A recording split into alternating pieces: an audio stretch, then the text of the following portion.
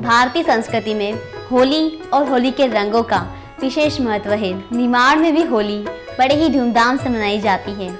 और ऐसे में रणुबाई गौरबाई सईदबाई और रोयणबाई भी अपने प्रिय संग होली खेलने की लालसा रखती है। इस गीत में रणुबाई भी होली खेलने की तैयारियाँ कर रही है। उन्होंने चुनर ओढ़ ली है और आभूषण पहन लिए हैं।